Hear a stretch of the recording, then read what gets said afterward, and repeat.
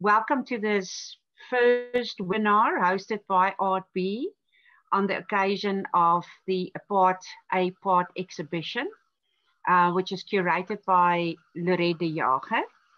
Um, I want just first of all to say hello, Laurette. How are you? Hello, Gwen. I'm well, thank you. Um, Monique Day-Wilde. Hi there. Hi. Uh, Ydi Coetsee Carstens. Hi, Gwen. Hi, everyone. And, and uh, gentleman last, Hermann Niebuhr. Good morning. Good morning, everyone. Hello. and thank you to Warren, who handles all our complex, um, our uh, very complex technology for us. We thank you very much. So I'm Gwen Miller, and I'm one of the 20 artists participating in this event and this exhibition. Um, I'm a part-time artist, to put it that way, because I'm also an academic. I'm a lecturer at UNISA. And um, it's here where I completed my D in, in intermediality. Um, and it links very much with my with my master's. So there's interest in the sublime, which is the main topic of this uh, session, of this exhibition, comes quite a long way for me from the 90s. And obviously, there's been a lot of changes through time, uh, critical changes. There's been uh, multiple conversations in environmentalism, ethics of post-humanism, and everyday culture. Sorry, that's my dog. Oh. she, she might join the conversation now and then. If she barks too much, I'll chase her away. Um, so um, it's a very large field, uh, the notion of the sublime. So we'll really, in our conversation, have an informal conversation and, and speak to the works of the artists um, to really uh, make this quite obscure, complex uh, concept a little bit more relevant for, for uh, the everyday and for, um, for a sense of transparency. I'm very honored to facilitate the webinar for uh, Lorette and for ArtB Gallery. And uh, I think I know for, for ArtB, it's also the very first experience of a webinar. We're going to try to keep this discussion within an hour. Um, Okay, and we will also speak as artists and practitioners. So we're a group of people here that's that's um, that really involved with the materiality of making art. Um, and our aim is a broad aim to make this, this concept accessible to listeners and to viewers. I want to start by introducing Laurette. Um, Laurette, uh, who has, this is your curator, curatorial debut.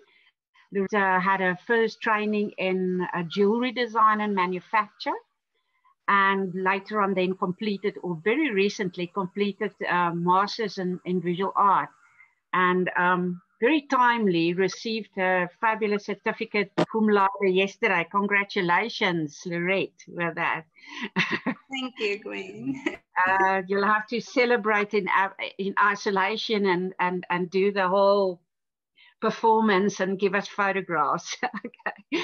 So your research and your focus was on dystopian theory and um, and your MBA exhibition, um, Poetry of Decay, was exhibited in, the, in Cape Town.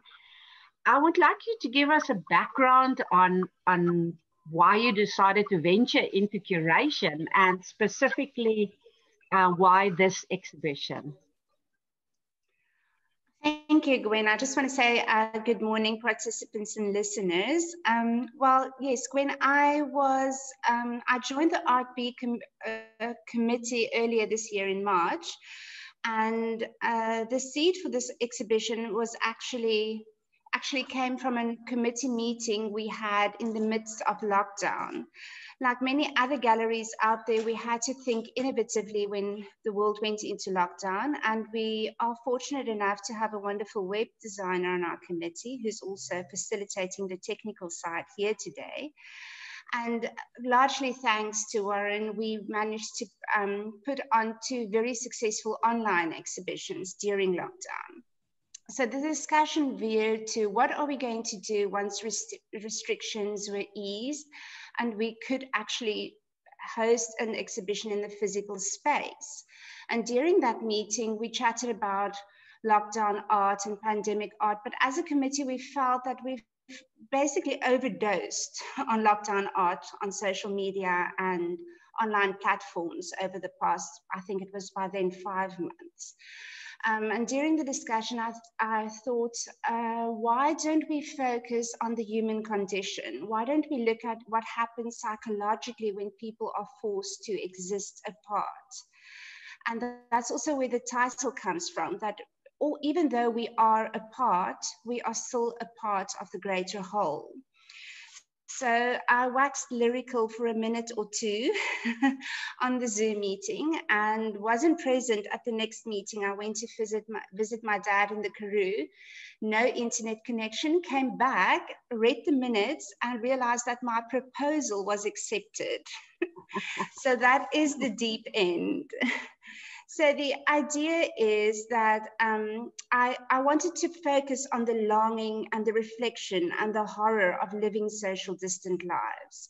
As artists, we universally create in isolation. Solitude provides rich and fertile soil for creation, and we are no strangers to it.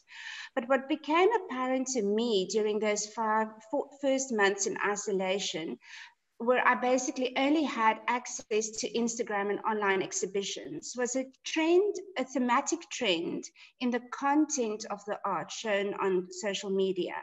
And although hashtag lockdown art accompanied almost every post or exhibition, there emerged for me a definite manifestation of the longing of the human psyche for connection.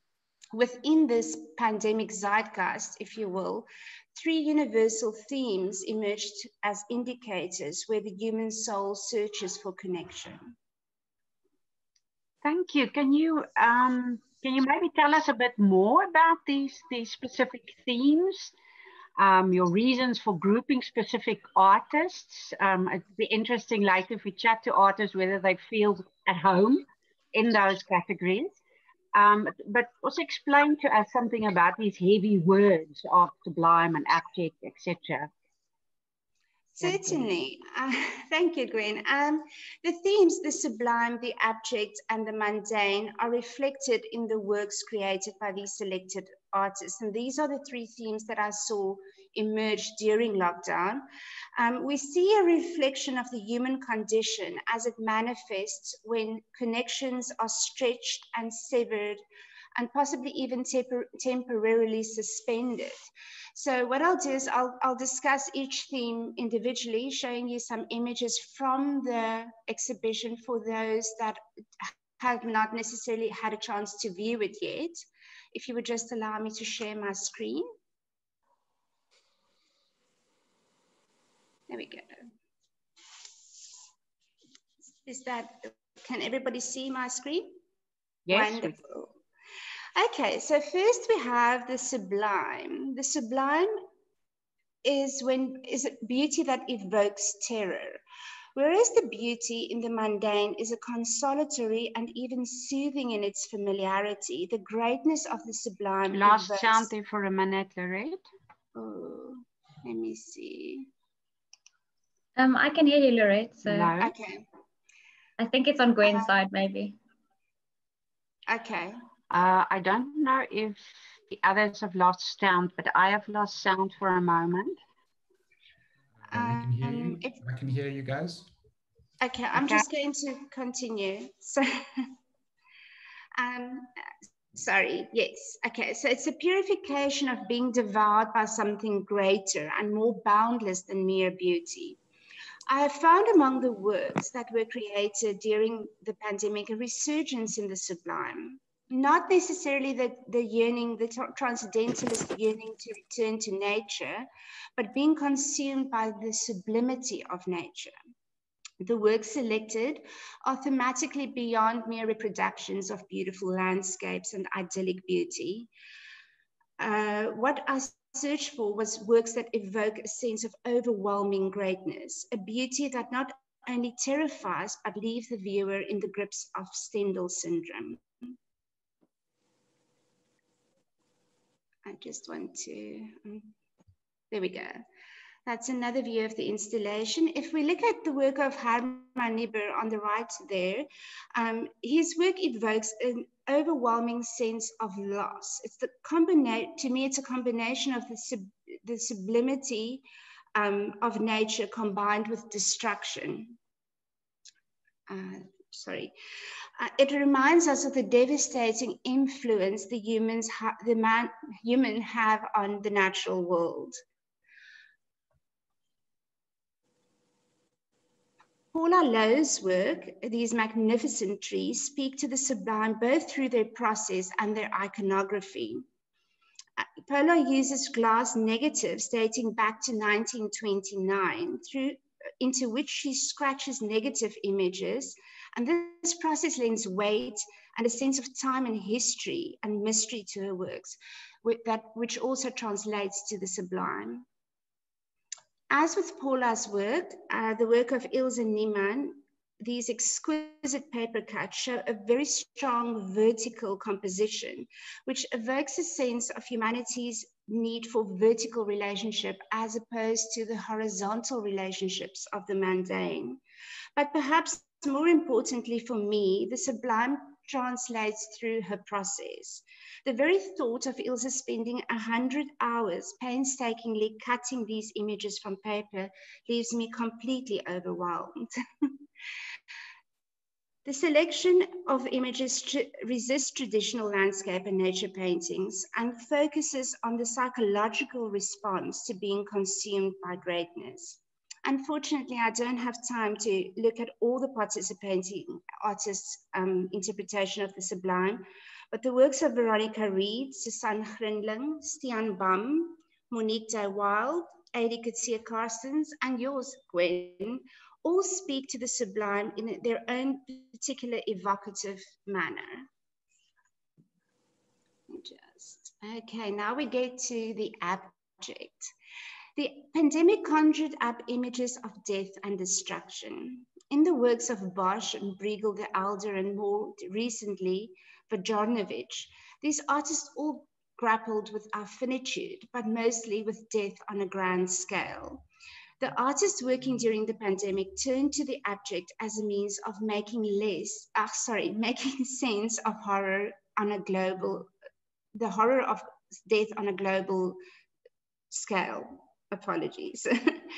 Um, during the months of isolation, social media feeds were flooded with masked figures. I know the medieval plague mask became a fast favorite, as well as gas masks, and then also obviously our surgical mask, which has by now become such a part of all of us that it almost feels like a second skin. For a part apart, however, the selection refrains refrains from showing literal masked figures and concentrates on artists who engage with the abject in a more symbolic conceptual way. I found a duality in the abject works. If we look at the works behind me physically in the gallery and on the screen at the moment, um, we see uh, uh, works that I feel signifies quite accurately how humans respond to times of crises. The work of Marlies Keith, Hanley Tout, and Judy Woodborne all reveals a dark sense of humor. Utterly at ease within the new social reality, they relieve the tension we feel when confronted with death. Looking at Tout's work in the center, sorry, there we go. Looking at Tout's work, um, we resolve to face death with a good sense of wit. A violent bunch on the left and boohoo on the right, complete with skeletal figures amidst a bunch of exquisitely embroidered flowers on rubber. Hannelly's process speaks to viol the violence of death as a non-degradable medium undergo a violent process of change. She juxtaposed the delicate cotton thread with industrial discarded inner tubes. By embroidering those things that can decay, such as flowers and flesh, using a degradable material such as cotton thread, onto a non-degradable non material such as, sorry, such as rubber, she ruptures those boundaries between life and death. Marlise's work, pictured on the left there, addressed the sedatephobia or fear of silence, if not the claustrophobia of isolation.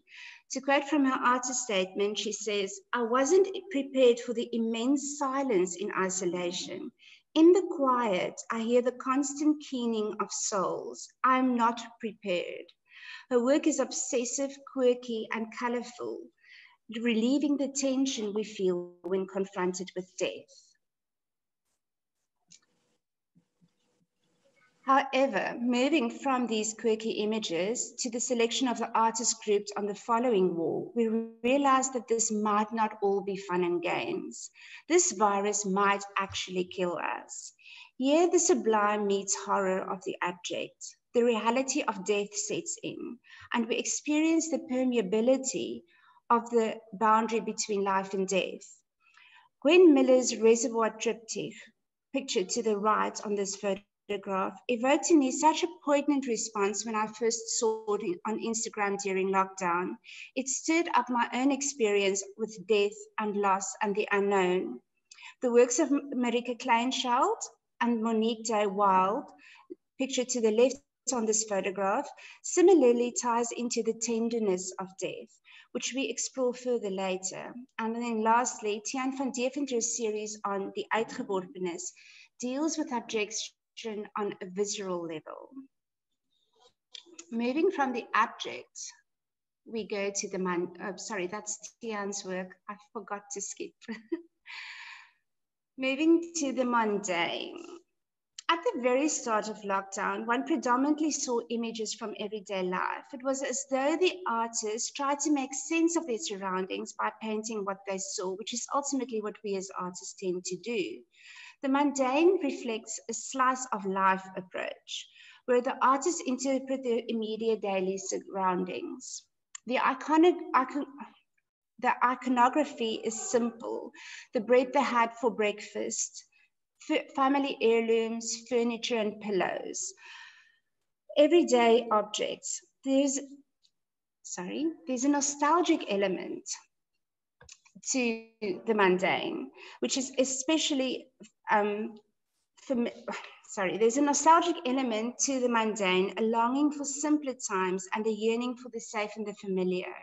Ingrid Engelbrecht's nostalgia for the shared lunch, pictured here, is a perfect example of the soft consolatory beauty of the mundane. Similarly, Sunita Hansen's work um, shows, speaks of morning light, more spolikis, and today's washing.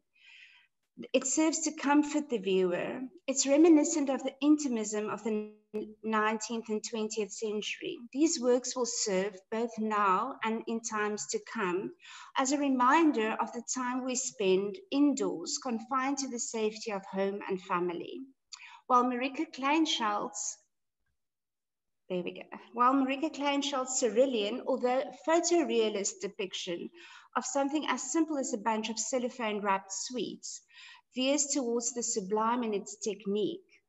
Although thematically similar, there are a variety of stylistic approaches and media in this section. This work evokes a sense of the material, an affirmation of the only certainty existing right now is to be found in the current moment. The other contributing artists include Stian Bam, Ydi Coetsee Carstens, Ilse Niemann, Danielle Jordan, Amanda Hayes, and Lisa Mayberg. They all engage with the mundane on a deeply personal yet utterly relatable level. I try to resist idealized, stylized, still life depictions in favor of a slice of life approach.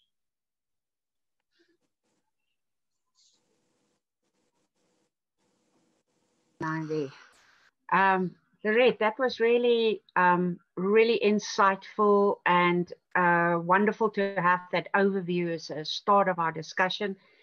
As you were talking, and I'm looking at the other artists, um, each of us sitting in our own studios, it reminds me also of um, of that sense of the mundane, uh, where we try and make something that is something that is about all and something that is um, about being maybe even more than than the the everyday. So um, I also think it's wonderful that you fetch the sublime within the romantic roots uh, of what we were speaking about.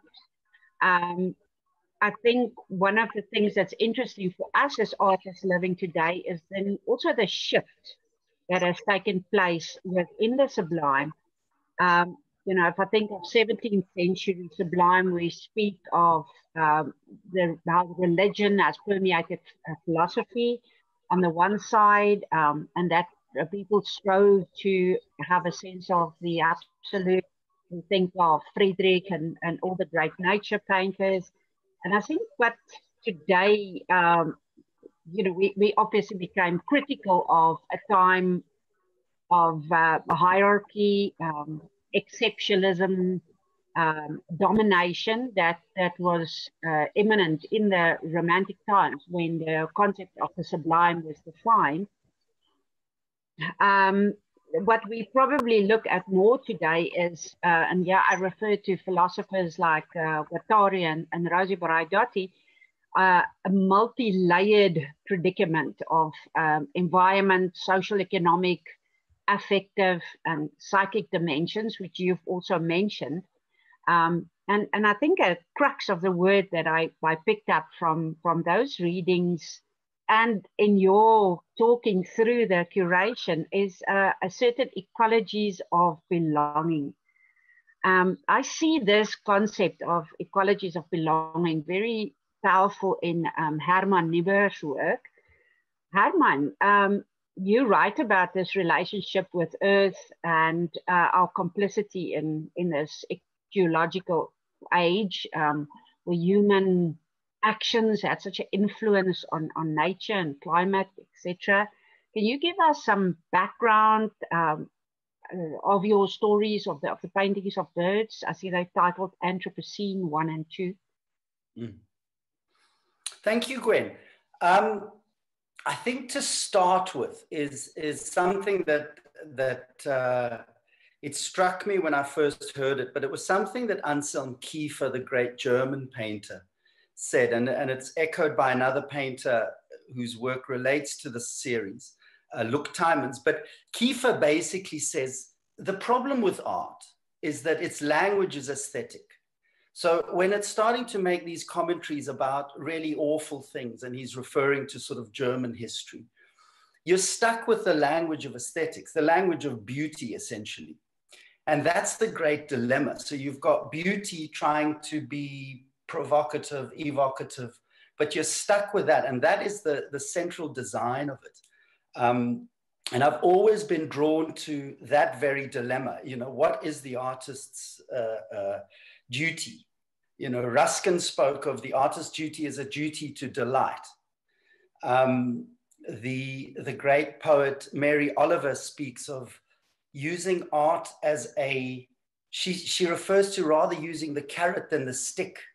So, so basically having people kind of um, shocked at the beauty that's about to leave in terms of environmental damage or, you know, the earth uh, the crisis we find ourselves in. So it's it's it's almost so I've taken a cue from that kind of leaning, which is to say, well, can you shock people with sheer beauty into a, into an activist moment of basically understanding that we're living in a, in a, in a time of great calamity for the earth. Um, so that's that's sort of the backstory. The the other piece that I think is important just for me to add is it was in 2002 and I walked into the, the Tate Modern and everyone had been sort of speaking about Luc Tuymans' response to 9-11 because he was going to unveil this painting. And he unveiled this painting, which was hanging there, which was massive. It was five meters by three and a half meters. Mm. And it was the most ordinary, um, simplistic, what he calls the bottom rung of the, of, of paintings hierarchy of a still life, of a vase and a thing. And I've got a copy of it, if we could just bring that up, uh, Warren. Um, just this very ordinary image. Uh, if I don't know if that, there we go. So this this painting now it measures. You've you've sort of got to get the scale of it. It's five meters by um, three and a half meters, and it really overwhelmed you by its scale. And what he's kind of saying is the same thing as Kiefer. He's saying painting just cannot respond to adequately to the crisis of our age. And, and I sort of, I've always been struck by that. So what is it that we're left to do? We can't respond actively, you know. Um, and so what we do is we, we show what, the, what we still have. That's, that's sort of my take on it. And um, so, that, so that's the sort of preamble of how this body of work came to be. Um, I was making a series of paintings which are essentially landscapes, but just a horizon. Um, so if you could go to the next one, Warren, if you don't mind. So they were, they were essentially very simplistic paintings, kind of uh, very Rothko-esque, small, but very simple, um, just, just uh, uh, uh lines. Um, and if we could, I don't know if that's, if you can find them, Warren.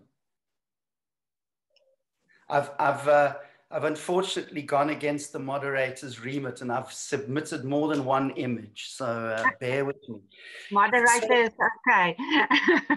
so this was this was this this was the start of it. Uh, just go to the one above, please, Warren. I can see your just that one. So this was the series of paintings. They were essentially just these bands. They were landscape orientated, but they were also um, a kind of offering a meditative state, um, but essentially using the language of landscape. So if you go to the next one, um, what happens in the next one, which spurred on the uh, the the series, um, if that's possible, is is what happens is the horizon line.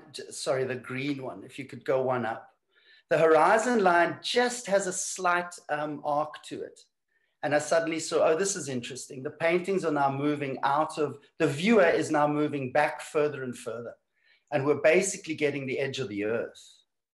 So then I, then I thought, um, well, let's paint the earth. You know, if that's what it's going to be, let's paint it. And then the, the next painting comes along. Um, and this painting comes along, this one of the earth. It's at the time sort of late, middle late last year when the Amazon was on fire and there was all the press around that. And it really did, it, it did sort of um, kind of inject a sense of real urgency and crisis in terms of the implications of that. So the next painting becomes the, the basically the curvature of the earth, which, and what I loved about this one, if we can just get the next one, Warren sorry, I'm, I'm issuing instruction from another quarter here. Thank you. So just one up. So this painting is the, it's the curvature of the earth. And it is just that, like Ellsworth Kelly's paintings, it's that curve, that's, it's just very beautiful. And I think it has a resonance with us. We just sort of that curve will just resonate with us. You know, something about that is just beautiful. And what, what's nice about this painting is that the rest of the scale is implied. You know, if we were to stitch together the full arc of the earth, you'd have a massive, uh, you know, you'd have a massive painting. Anyway, I then went and I'm sort of I'm sort of explaining the process just to give you an idea of the artistic process isn't always so um, lofty and high in terms of ideals. It's often very pragmatic and practical. But I saw this painting, and this is a very small painting. I think it measures 20 centimeters by 40. And I thought, let's do a big one of these. So I ordered a canvas which was two meters by 85, which is the same proportion as this, uh, with every intention of making a massive uh, earth painting. And then, so if you can go to the next one, uh, Warren, if you don't mind. I was driving and happened to come across this lilac breasted roller that had just been killed, and I managed to get a photograph or two of it. And I realized that this little beast is a stand in for the world. It's the, it's the earth, effectively. And, and that sort of led me into this series of paintings, which is that these little creatures that are so delicate and, and um, fleeting and already have a, have a, a I think delicacy is the word to use.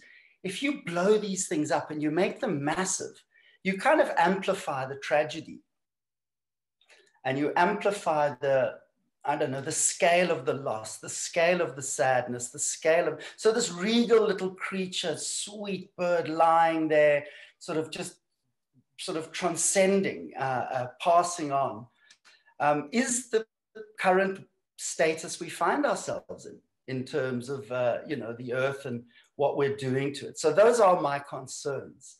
Um, and I just, I think what's interesting is just that the, the scale of it is important and the um, the fact that it has this just this regal disposition, you know, and it's lying there, and it is the again like the Luc Tuymans, it's the humble still life on the bottom rung of the of the painting um, hierarchy, and yet this is the one that I think is most impactful in terms of, you know, as a still life evoking these bigger themes. Um, yeah, I think that's what I wanted to say about these works. Um, you know, the next one, I, I, was reminded, I have, a, I have a, a, piece here that, that is also, I think, quite relevant, if you'll indulge me. But, but when um, Laurette was talking, I was, and I grabbed the, the Rilke from next to my bed because I was reading it. And this has been on the, at the back of my mind and at the forefront of my mind, I suppose, as well. But he articulates it beautifully. He says, for we are only the rind and the leaf. The great death that each of us carries inside is the fruit. Everything enfolds it.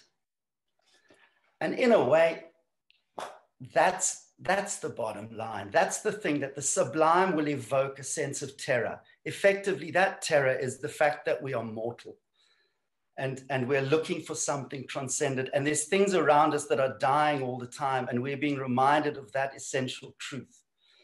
Now, that's that's sort of been my approach with these paintings. And the, the if I can say one last thing about the, the last painting or the other painting on the show, which was this little dove, and he was he was at, on the balcony of my studio, which is in Fordsburg in Johannesburg.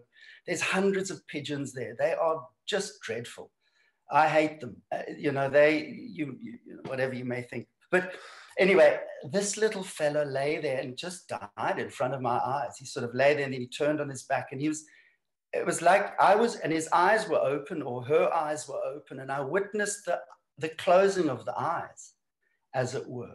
So there was that moment of the passing of this, this, this little beast. Um, and that, you know, can one paint that? Is it even worthwhile? Because the experience was quite profound. You know, these beasts that I've come to really dislike because of their um, ubiquitousness. But, but uh, you know, watching it die and then being reminded of this very thing, this fruit that I carry within me as a conscious sentient being, that this too shall pass. Um, and that's my relationship, I think. Um, with, with the sublime is really that this too shall pass, you know, and what will we do with our time here and what are we doing and um, what is the painter's duty in the face of this impending crisis?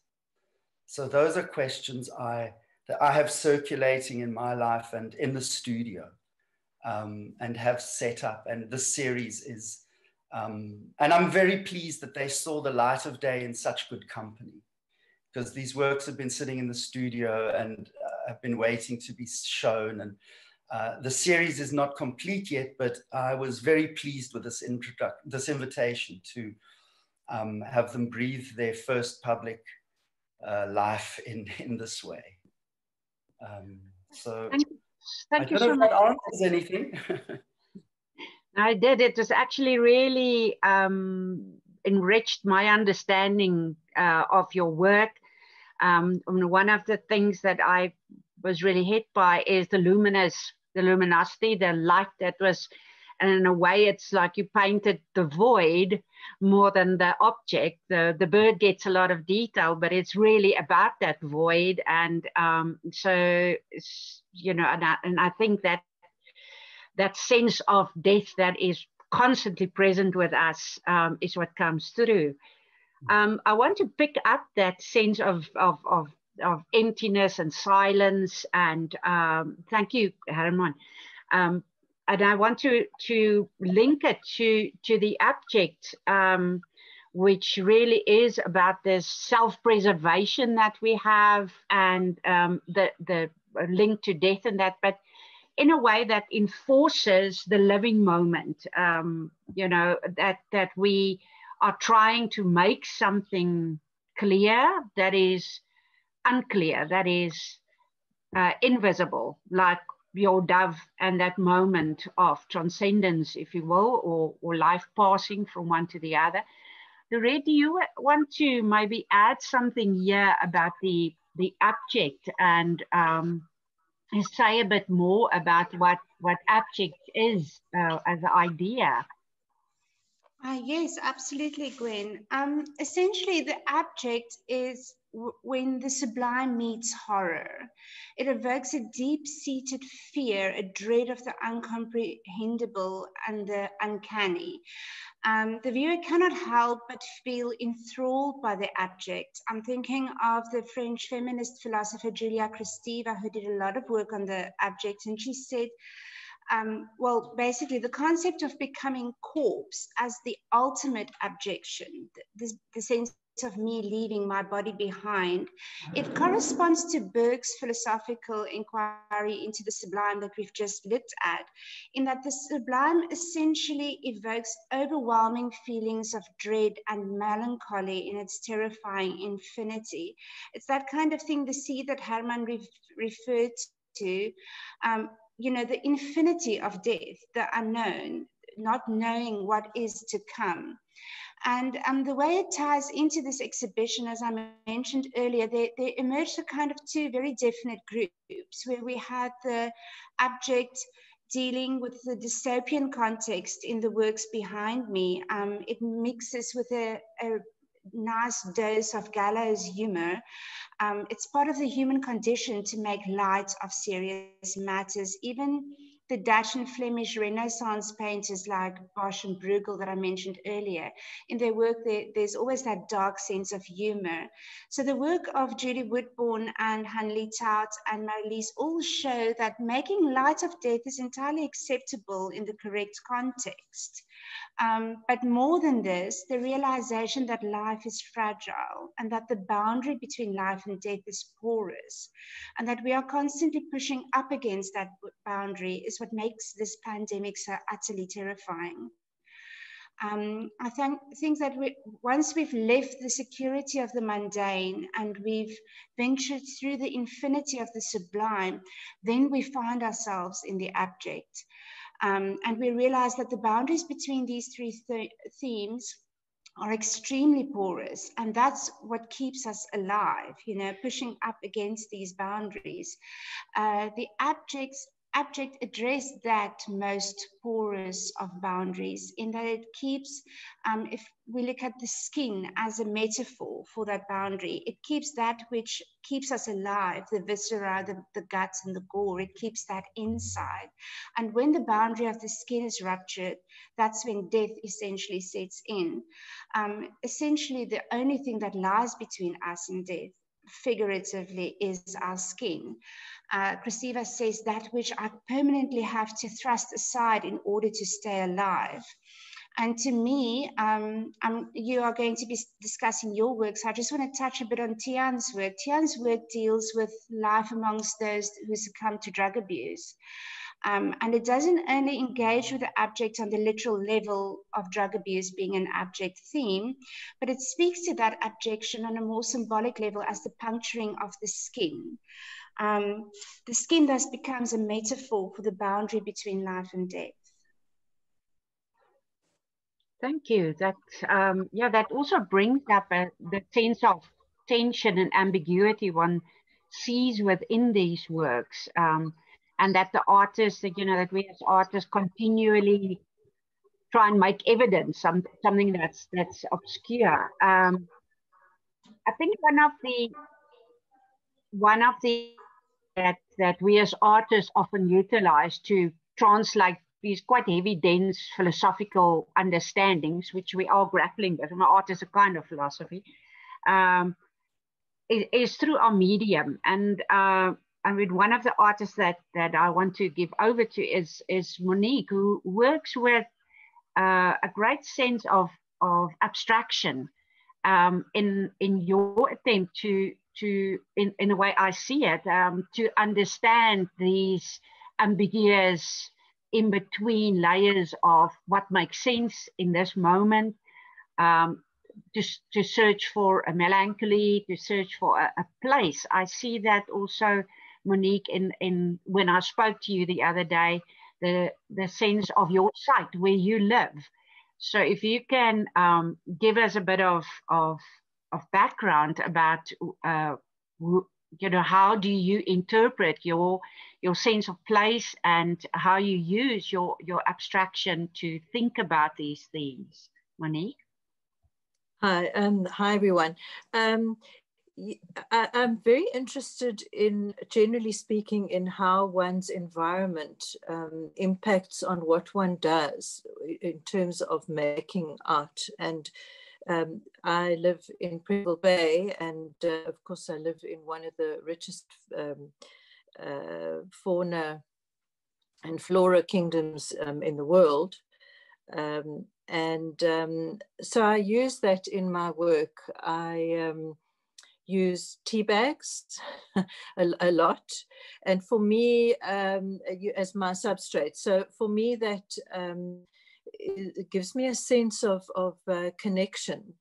And uh, of course during lockdown we were really um, wanting to keep the, the connections of of uh, friends family um, without being able to um, to do that. And uh, so using the, the um, tea bags and then printing on the tea bags uh, with plants that I'd collected from my immediate environment um, sort of brought the two concepts together because I think that um, where we live um, and, and our interactions with those around us has a huge impact on the type of art um, and the response to, to art that, that uh, we, we have.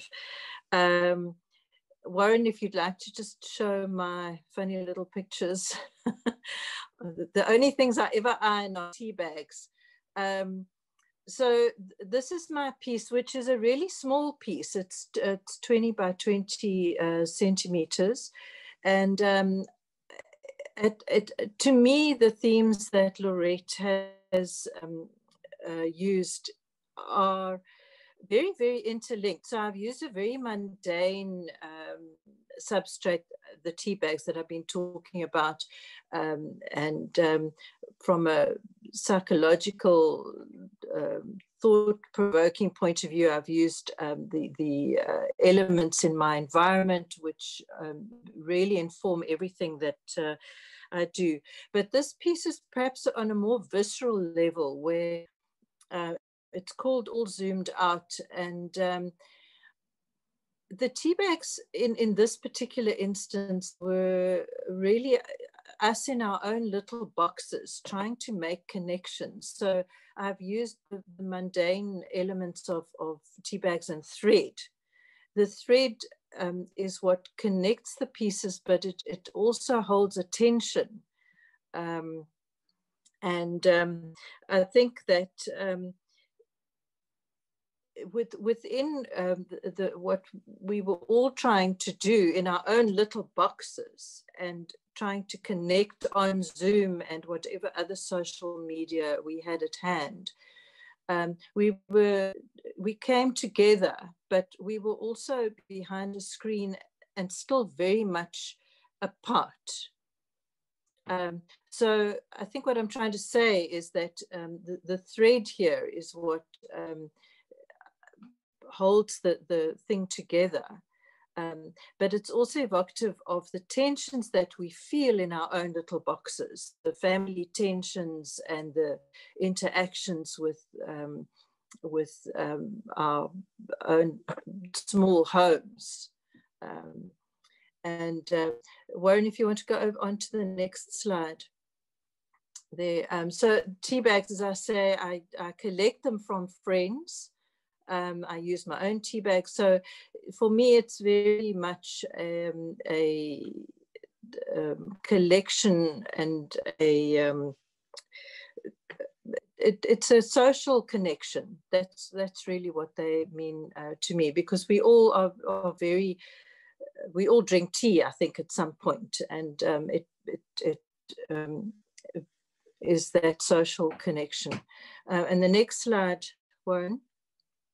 So what I do with the tea bags is I print on them, as I said, with um, the foraged plants that I find in, in my environment. So I use um, the, leaf that I'm holding there is from a, a kilworm, uh, which are actually in flower at the moment, but weren't um, at the time. And if you could go back to the piece, Warren. Um, great, thanks very much. Um, so in, in this piece, um, there's quite a lot of symbolism. There, there is um, crosses, which um, sort of are an element of, of how we view death. We use a cross as a, as a um, symbol of that. Um, and the zigzag lines, the ups and downs of how life was that, or, and always is, um, and the crossing of lines, the interactions. So full of symbolism. Um, the boxes are really um, the little boxes that we put ourselves in and that we find ourselves in. Um, and uh, I think that something that for me um, comes through is how with all these interactions and non-interactions, um, our own mortality um, has come very much more into view and um, how we've had to think about death um, on a much more practical um, level. But if we take a step back and a, a deep breath, there is a great tenderness um, in dying and uh, perhaps links back to what Hermann was saying about watching the bird die is that if we just take a breath, that it is part of um, life and and the interactions in our lives. It's not something that happens elsewhere or out there or wherever. It, it's part of who we are. And uh, we we need to make make peace with it so yeah thank you gwen Thank you very much, Monique. I, I, I, see so many links as well, although your work aesthetically is so different, but with Warren's work and um, that notion of a, a, certain absence that one sees in your shadow figures, um, and, that impossibility also to really, like you say, we're striving to connect, but we, we remain absent. I mean, even in in, in this webinar, um, what cements this webinar the most is the fact that we are I'm sitting in Pretoria and you sitting on the other side and and Laurette and uh, so each of us and, and every listener that's sitting here is also so that um, that that tension between absence and attempting to connect. But absolutely. um, so, so, thank you very much for that. I think um, I want to link that again back to to to uh, my favorite philosopher Braidotti that speaks about how um, there is in a time of Anthropocene also a certain post-Anthropocene where we where we talk about the affirmation of life and death being an affirmation of life, of something that is abstract being an affirmation of that which is here um, and and the the sense of um, of of that every day we leave behind that day, but that also makes us realize we really have to hang on to every moment where we are present. Um, I I want to use this opportunity just to uh, uh, briefly reflect on um, the the absence that I worked with in in my works. Um, let me just get that on the screen. So uh, Laurette, you refer to um, the, the triptych. Um, you see that on my, no, not yet, sorry. just get the screen sharing on. I want to just share again uh, this image. Um, okay, is it visible to you? It is the three photographs that I took um, that was uh, part of my own um, life death uh, situation. I, I, lost my husband last year.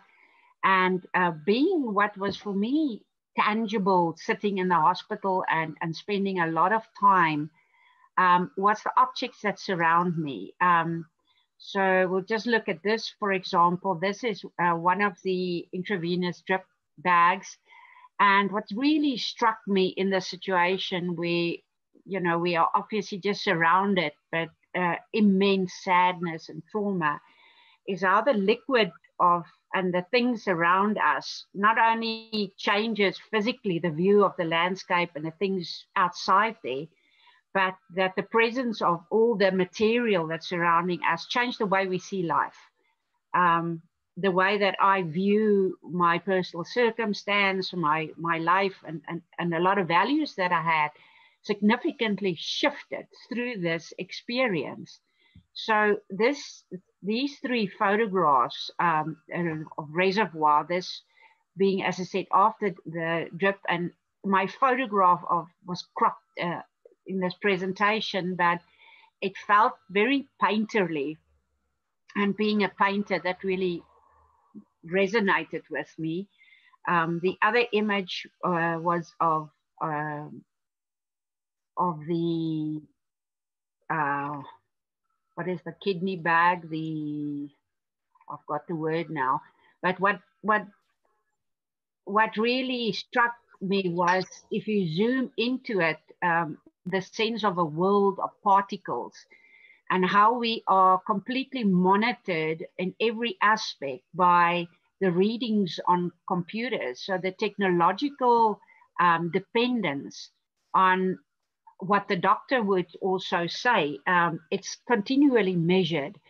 Um, there's no uh, understanding of um, what, or there isn't a real consideration of what, what people are necessarily feeling on the one side, but there is the measurement, the continuous measurements through um, through the different readings. Um, in in this particular photograph, I was struck when looking at at this at how it feels like a body. It's just a piece of technology, plastic, but it really felt like um, heart, lungs, uh, and something liquid. So it it links with the um, idea of the object that um, how porous is our existence in um, and how we are measured.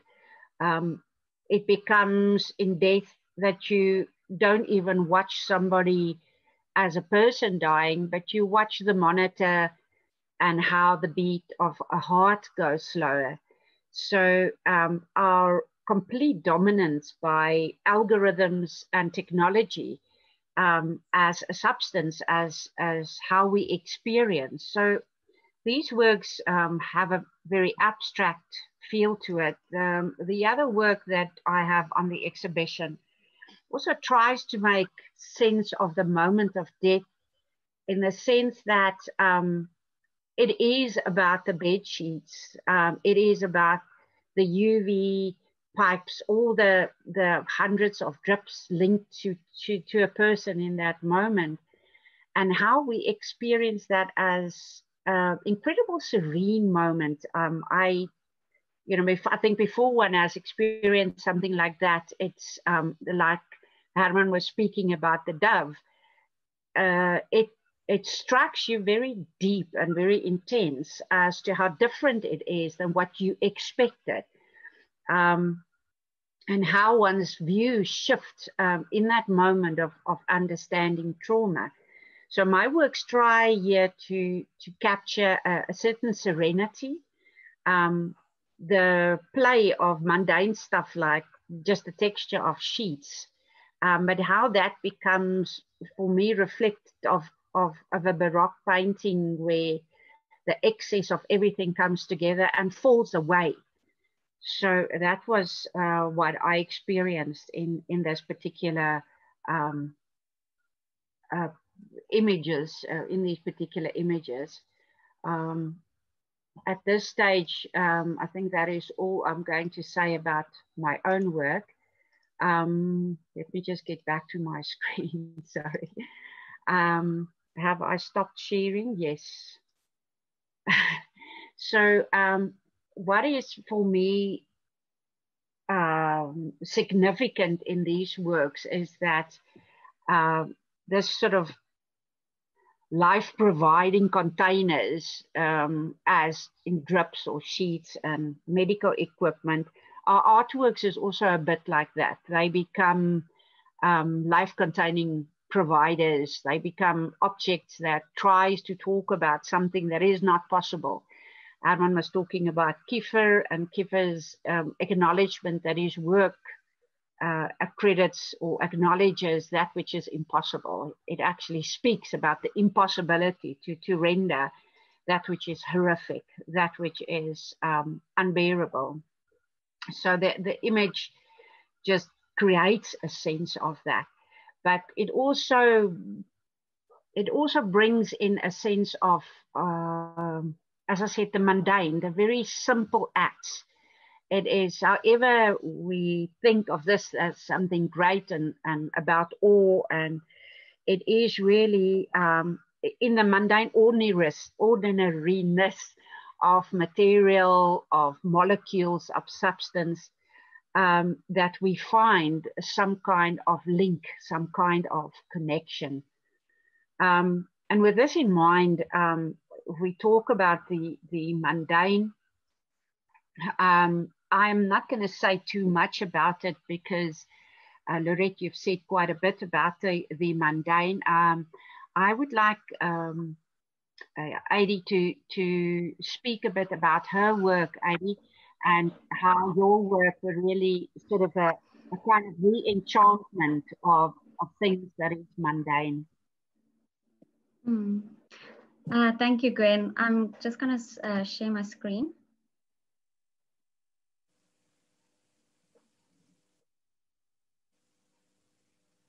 So let me know if it's all up. It is, yeah. Okay, wonderful. Uh, so uh, just bear with me. I'm going to just read something that I, I wrote a little while ago. It just basically says, uh, as an introduction to who I am, I grew up in the Winelands, but it could have been in the Noord-Kaap or in Bellville or in Kaalmoer, anywhere where people live who belong to the VGK. And I thought for a long while, should I now tell you what the VGK is? But um, I, I, decided I will. So basically, in apartheid, the Dutch Reformed Church was split into three parts in a very traumatic fashion. And those parts were classified as the white, the colored, and the black church. And the VGK is um, the colored section then of, of that institution. When I was little, I must have thought that adults prayed with their feet because that's mostly what I remember seeing when we huddled together in people's homes for Wednesday night with shoes and Bibles and a light bulb flickering in a back room. Those were sacred spaces, but also charged and segregated spaces, with our family the only one out of place. But we were made to feel at home, quite literally in my experience. The texture of the carpet and the soft scuffling of feet becoming one with the muted sounds of prayers for children with addictions. Porcelain and plastic flowers, the most colorful of decor, calendars and Bible verses, the paintings on the wall. And as we sang koortjies like He Never Failed Me Yet, dogs were barking in streets that were too dangerous to walk at night. Ordinary people, ordinary places, but very strange and hard to articulate um, that's when I that's what I see when I think of the mundane domestic interiors, but also institutional interiors like schools and churches. Um, when you grow up in church, you know there's a lot more happening than simply a few hours on a Sunday. Um, someone has to lock up for the funeral. Someone has to sweep the consistory before a wedding. Someone has to photocopy the flyers and put water in the doopvont where baptism takes place. Someone has to answer the phone and type out the minutes. It's a place of the mundane, of work, of meetings, and arrangements. Uh, this is the work that I have uh, as part of the mundane section. Um, the church was our family's nine to five. But of course, it's also the place of the sublime. The awe inspired by high ceilings and tinted windows of 900 people, of voices blending in harmonic harmony, of transcendence, of otherness, and of the unknown. Um, the one church painting I did was part of the sublime section. Um, here's another one, which also depicts the, the actual church building. Um, at the moment, oh, this is a, a, school painting I did a while ago of Idas Valley.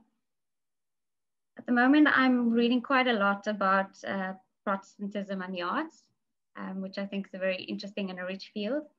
Uh, but a few years ago, also uh, missions and colonialism was really part of my interests, and that also informed my master's thesis. So, you know, growing up in this religious environment, like how does uh, politics and um, institution and religion and education all, all mix it up into this interesting, very ambiguous melting pot of and, and race, of course. Um, so I guess that there's all things I try to grapple with in my work. Um, I guess I'm, yeah. So so apart from just uh, all the interesting um, conceptual things, I guess behind the work, I'm very much drawn to the practical side.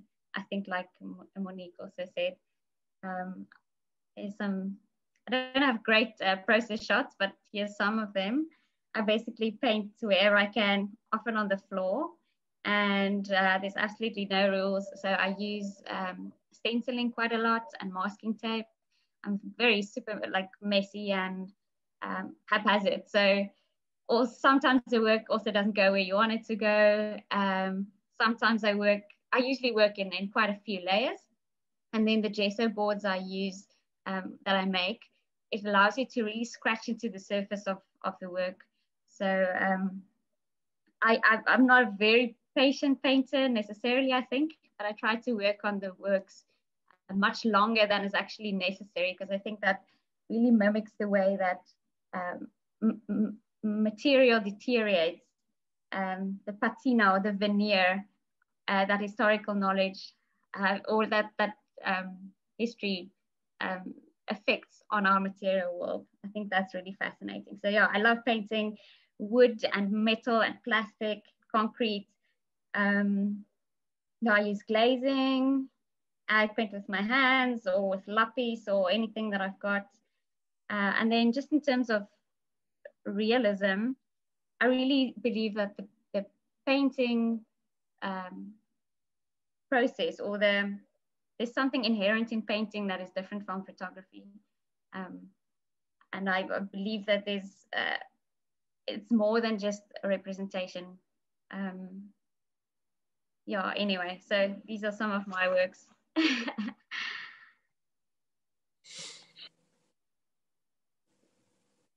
Thank you very much for that, Aggie. Um, I find uh, once again the sense of absence within the works um, you talk about uh, um, you talk about a certain experience within a, a very specific time, but um, there's a lot of painful experience for a lot of people within that time, and and your work evoke also the gap in that experience as much as it talks about um, all these layered uh, association you know we have it being at home um, they it as much recall the sense of so many people being absent and the trauma that is experienced in our country in general. Mm-hmm. So um, I'm I'm interested to see how your work will develop. Um, I've really enjoyed um, everybody's comments here, and I would like to know if before I give over to to Laurette to uh, presenters with a conclusion. We it is uh, past 12 already. Um, if there isn't uh, a comment from from one of our uh, Hermann or Monique, um, already a last comment from your side, and then um, Laurette can wrap up for us.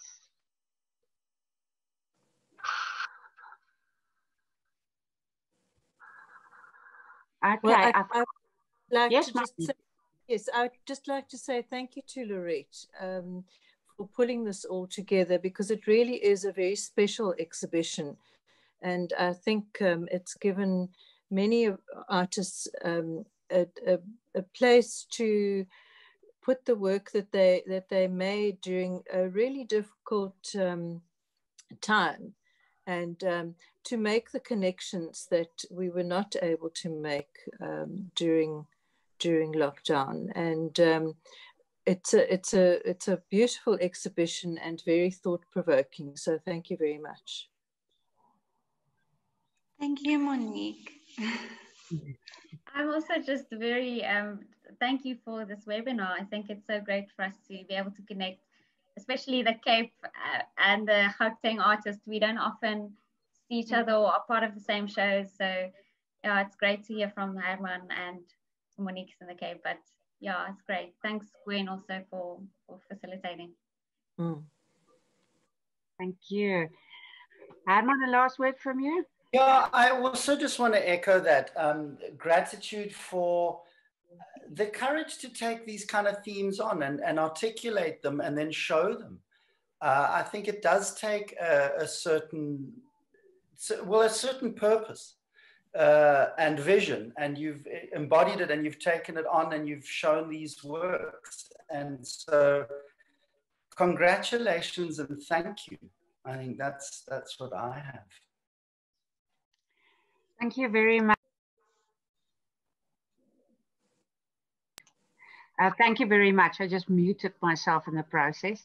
Um, I wanted to post uh, just a note on our comments that the session will be available.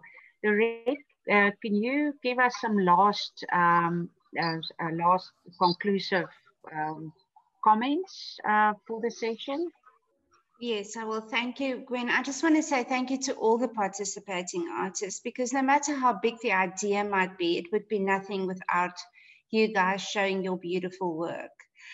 And um, whereas this exhibition was initially, the vision for the exhibition was initially to delve into the human psyche to unearth how we search for connection, um, especially when social distance is imposed upon society, it was a psychological search before it became a visual quest. Um, so, just briefly, things that emerged as I was putting the exhibition together. Um, what happened was as artists started submitting work, I found that these themes, which had initially been very separate in my mind, overlapped and intermingled, and it became this beautiful organic process that was completely unplanned, um, which just serves to emphasize for me how porous the boundaries are between the sublime, the abject, and the mundane. And then what also became apparent later was that so many of these motives manifested in the artist's works long before COVID made its appearance in March. So I can uh, we can extrapolate that these are themes that have always been below the surface of society and that the pandemic just kind of acted like a catalyst for these things to come forward.